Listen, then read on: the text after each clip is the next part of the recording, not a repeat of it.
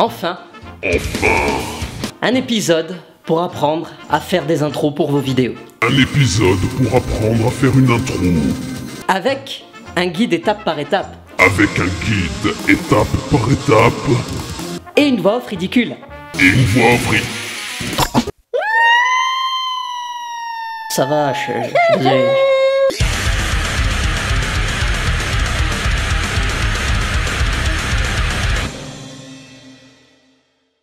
à tous et bienvenue dans la Panic Room.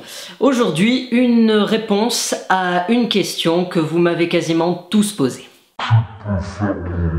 Et avec ça, vous voulez un café? Alors non, bien entendu, je peux pas vous faire une intro. En revanche, je peux vous aider à en créer une. Alors, on dirait pas comme ça, mais depuis des années, tous les types de programmes audiovisuels que l'on regarde, que ce soit sur le web ou à la télé, ont toujours eu pour bonne habitude d'annoncer au spectateur ce qu'il regardait. Le but, c'était de rassurer le spectateur, de le laisser s'imprégner de l'ambiance du programme qu'il était en train de regarder et de passer, en tout cas, un bon moment. La seule différence qu'il y a avec YouTube en fait, c'est que ça n'a jamais été obligatoire de faire une introduction. Généralement, le spectateur, ou en tout cas votre audience, se contente de cliquer sur un lien en sachant déjà plus ou moins ce qui va être présenté. Globalement, une intro n'est jamais obligatoire sur le web et euh, elle est moins protocolaire, je dirais, que sur un autre support tel qu'un DVD, un film ou encore un programme télévisuel. Mais en termes d'animation, une intro se compose généralement de trois parties. Une entrée, des animations diverses, une présentation et une sortie. Petit moyen mémotechnique, entrée, plat, dessert, c'est la même chose. Sachez aussi que l'intro fait également objet de carte d'identité pour votre programme. C'est pour ça que je vous recommande fortement d'essayer d'adapter quelque chose à votre programme. Alors si vous voyez pas vraiment ce que je veux dire, Voici une petite étude de cas. Alors sur l'intro de What the Cut, ben, on peut voir le nom de l'émission et un fond noir façon TV brouillé. On dirait pas comme ça, mais ça dit beaucoup de choses. Autrement dit, ça relate tout simplement quelqu'un qui va vous présenter des vidéos peu connues et tout ce qui peut être rajouté suite à ça, c'est le titre de l'émission quoi. Parfois, il vaut mieux ne pas trop penser compliqué et rajouter juste un texte sur un fond, ça peut très bien le faire. Et parfois, dans certains autres domaines, eh bien, vous allez peut-être vouloir une intro clinquante, vous allez peut-être vouloir des animations à tout va. Je prends pour exemple le générique de SLG qui a été fait par New au passage. Ça colle à l'esprit de l'émission, c'est enjoué, ça a de l'humour, euh, c'est clinquant, c'est rock, un petit peu comme les geeks. Voilà qui devrait vous donner des idées de réflexion pour vos designs. Alors, petite note personnelle, essayez de réfléchir à la durée de votre intro. Sachez juste que parfois, il y a des personnes qui se tapent des marathons d'un paquet d'épisodes à la suite et que c'est parfois très saoulant de se retrouver avec une intro qui fait l'ordre de, je sais pas moi, de 50 secondes. Choisissez votre parti pris, tout cela, cela ne dépend que de vous. Bon, c'est pas tout ça, mais on va tout de suite foncer sur After pour pouvoir bricoler cette intro. Alors je vous préviens tout de suite, il existe deux versions de ce que vous allez regarder maintenant. Une version courte qui va en fait vous présenter le B à bas de ce qui va se passer, en gros, de ce qu'il faut faire pour avoir une bonne intro. La deuxième version est plus longue et elle est en non répertorié sur ma chaîne. Pour y accéder, vous avez juste à cliquer ici. Cela vous emmènera vers une autre vidéo et euh, une fois que vous serez dessus, ben euh, il y aura aucune interruption. Ça sera purement et simplement un tutoriel euh, old school quoi. Sur ce, let's rock. Alors j'ai réalisé euh, pour vous cette intro. Donc en fait, euh, chaque calque ici n'est pas forcément obligatoire. Il y a des calques euh, qui, servent complètement à rien et qui sont là juste pour styliser un peu plus l'image. Et donc je les coloriserai au fur et à mesure que je vous les présenterai. Tout d'abord, juste pour vous expliquer ce qui a été réalisé. Donc en fait, ça c'est ce qui se passe lorsque on regarde en dehors de la caméra l'intro.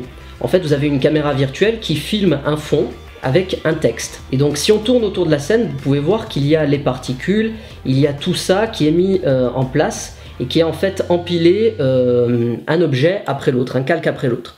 Donc je me remets en caméra active pour vous montrer. Et en fait, euh, je vais vous expliquer un à un tous les calques. Ici, vous avez donc votre caméra. Rien de spécial à dire euh, sur cette caméra. Pour la créer, il suffit d'aller dans la fenêtre calque et de créer la caméra, quoi, normalement. Sauf que cette caméra est liée à un objet nul qui est juste ici. Et en fait, l'idée, c'est que ici, vous allez pouvoir définir un calque qui sera le parent de cette caméra. La raison pour laquelle je fais ça, c'est parce qu'After Effects a une très mauvaise caméra.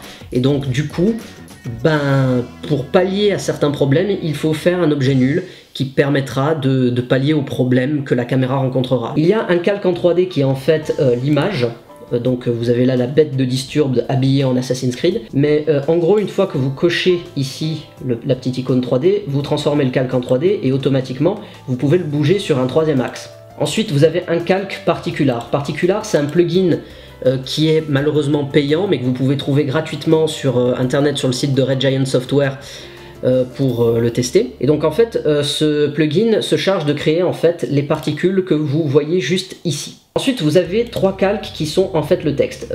ces deux calques sont complètement facultatifs. C'est les calques de texte, mais avec un effet de lueur et un effet qui s'appelle flou gaussien.